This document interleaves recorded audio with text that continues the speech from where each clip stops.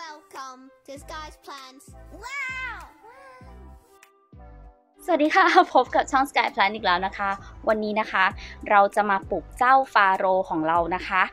แบบน้ำกันค่ะ พอดีไฟเพิ่งได้มานะคะคุณ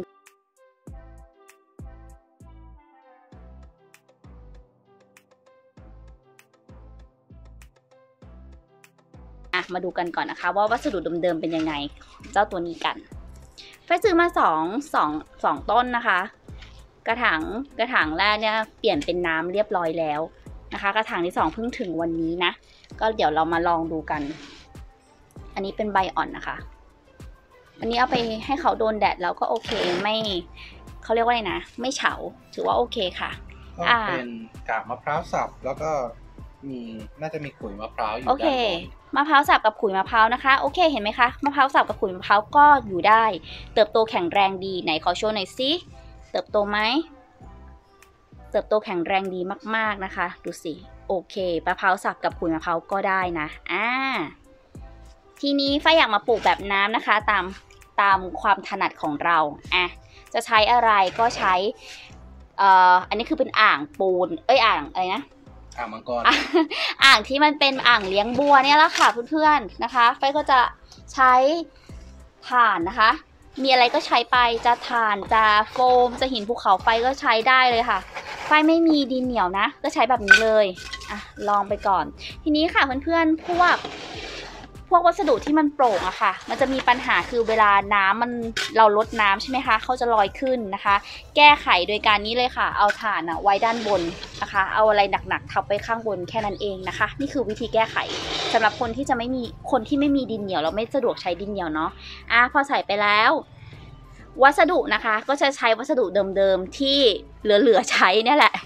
ในนั้นมีอะไรบ้างเอ่อมีมะพร้าวสับ เพอร์ไลท์ขุยมะพร้าวขุยมะพร้าวขุดแต่ขุยมะพร้าวน้อยมากครับค่อนข้าง มีแค่มะพร้าวสับเนาะค่อนข้างโปร่งมากมีหินภูเขาไฟด้วย อ่า อันนั้นคือวัสดุเก่านะ ของโมฮิโตของโมฮิโตอะแล้วก็เอาวัสดุเก่าเนี่ยเทลงไปเลย อย่างที่บอกค่ะ วัสดุเหลือใช้จริง ๆนะคะ เดี๋ยวไฟจะใส่พวก starter G ไปด้วยนะ แล้ววันนี้เราจะมีเอ่อพอดีมีทาง บริษัทนะคะทางผลิตภัณฑ์นะคะ ส่งสารปรับสภาพดินมาให้ฝ้ายลองใช้อะฝ้ายจะลองใช้ดูนะคะ ไม่ใช่เคมีนะคะ เป็นเหมือนแร่ธาตุนะ มีพวกแคลเซียมเอ่อเหล็กนะคะ พวกเนี้ยค่ะ วิธีการใช้ก็เนี่ยมันจะเป็นเม็ดเม็ดๆไหนขอดูหน่อยค่ะสามี เดี๋ยวแกะให้ดูนะ เป็นเม็ดเม็ดโอเค มันจะเป็นเม็ดกลมๆค่ะ กระถางประมาณ 17 นิ้ว 15ถึง17 นิ้ว 15ถึง17 นิ้วอยู่ที่ประมาณ 4 ช้อนโต๊ะค่ะ อะ โอเค ใส่เข้าไปเลย ก็จะใส่ลงไป วันนี้ไม่ได้ใช้ปุ๋ยบัวนะคะ ไม่ไม่ไม่สะดวกมีปุ๋ยบัวก็อะ ใช้อันนี้ลองดู เป็นสารปรับสภาพดินนะคะเพื่อนๆ ทางแบรนด์บอกว่าสามารถใช้ตอนที่เราชำได้ด้วยนะคะ โอเค ทีนี้ก็แค่เอาฟาโรห์ค่ะ ใส่เข้าไป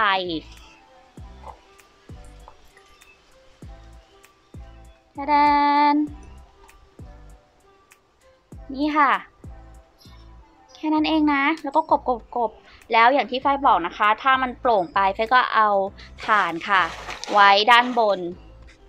เพื่อให้มันเหมือนแน่นนะคะเหมือนกดทับหน่อย ไม่ให้เออเวลาเราลดน้ำแล้วมันลอยขึ้นนะ เพราะถ้าเราใช้วัสดุโปร่งมากบางครั้งใช้โฟมเยอะอะค่ะ มันก็จะลอยขึ้นมาเลยนะ เวลาลดน้ำที ทีนี้เดี๋ยวลองไหลก็ลอยนะครับ ใช่เพอร์ไลท์ก็ลอย อย่างที่บอกนะคะ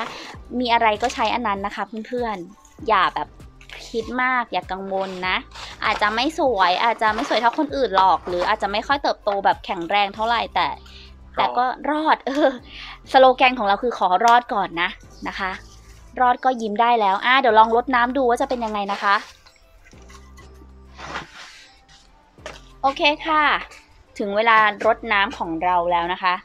ลองดูซิว่าเขาจะลอยขึ้นไหม แต่อันนี้มันมีมะพร้าวสับเยอะมันไม่ลอยอยู่แล้วเนาะอ่าไม่มีโฟมไม่น่าจะอ่าลอยใช่เพราะปกติไฟใช้โฟม ถ้าไฟใช้โฟมอะมันลอยไงคะแต่นี่ส่วนมากเป็นมะพร้าวสับ แล้วก็หินภูเขาไฟแล้วก็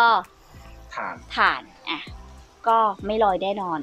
ก็เติมเพราะมันเป็นจวัสดุเหลือใช้อะค่ะ ปกติไฟไฟมีโฟมเยอะไฟก็เป็นวัสดุเหลือใช้ของไฟคือโฟม อย่างตัวเนี้ยค่ะ มันเป็นฟาโลที่ฝ้ายใช้โฟมนะ เนี่ยจากตัวเนี้ย ตัวกระถางขาวค่ะ ฝ้ายมันจะเป็นเอ่อที่ใช้โฟมค่อนข้างเยอะนะคะ ด้านบนฝ้ายก็เลยต้องใช้ถ่าน แต่มันไม่ มันไม่ขึ้นมาเยอะใช่ปะมันยังพอกดอยู่ได้ อ่า ใช่ พอมีฐานนะคะ พอมีฐานมันจะไม่ค่อยลอย ถูกไหม แต่อันนี้คือวัสดุมันคือค่อนข้างที่จะเป็นโฟมอะค่อนข้างเยอะเลยนะคะ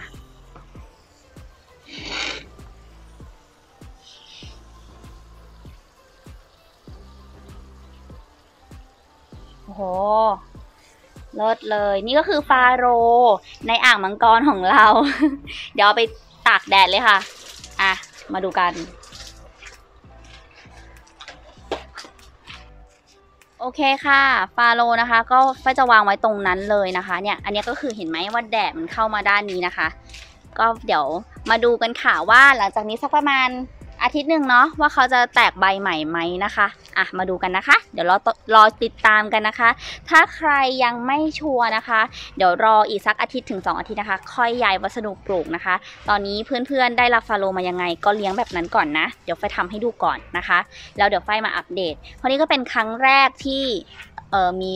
โคโลกาเซียที่แพงนะคะ ส่วนมากไม่ได้แพงเท่าไหร่เลยมีตัวธรรมดาเองนะคะ โอเคค่ะสำหรับวันนี้นะคะ ขอบคุณที่ติดตามนะคะ เรามาเจอกันใหม่คลิปหน้านะคะ มาอัปเดตฟาโลกันสำหรับวันนี้สวัสดีค่ะ